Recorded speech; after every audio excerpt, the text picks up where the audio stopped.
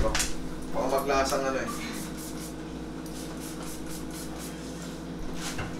Ginagawa ko, ginaganon ko po siya para bumalik yung ano. Nga kang malaki. Ay, tumatagilid. Opo. Ay, masayaw. Opo. Gano'n nga. Yun. Ginapandan. Hindi pantay. Opo. Shoutout nga pala kay Ella and Rai Kat ng Canada. Yobi TV, Galyang 28 TV, Marisa Nara ng KSA, Yamato ng Kuwait, Wildong Vlogger, Ka-Jersey Vlog TV, Juanita Bantaya ng Makati, Nano Masid ng Davao. Shoutout sa inyo. I love you all. Ang malaki. Ganda ang sara. Mm, mm. Sa huli yung ano. Eh, gano'n ka. O yan, lumubog na.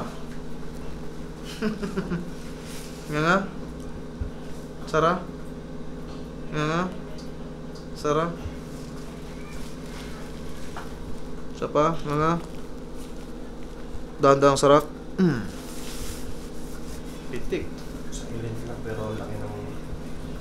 Ngayon, iiwasan mo na yung maghihikap ng malalaki. Ang gagawin mo, paghihikap ka ng malaki kasi baluwag na yan. May maaari talagang tumulos-dulas na yan. Gagawin mo, mag-chiclet ka. Kabilaan po siya. Mm. Yung, yung ganyan, no? Opo. Nararamdaman mo pagmamasirin mo rito.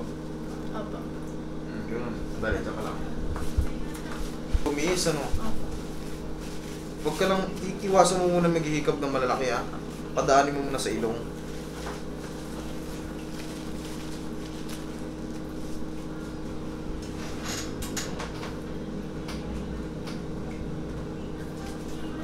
Chicletin mo lang yan. Ngayon, paglabas yung bili na kayong chiclet.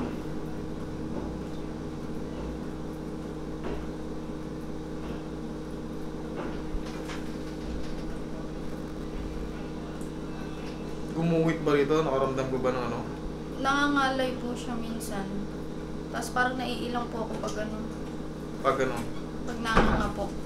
Kaya ang ginagawa ko po, dinutusok po siya sa ganito para bumalik po. Iwasan mo yung mga hikap na malaki, yung mga, mga malaki, iwasan mo muna yun. Pagmamasalin mo pa to. Chiclet para mag para yung maging strong tong panga mo. Ha? Day by day chiclet ka lang. Ubusin mo yung tamis ng chiclet. Araw-araw.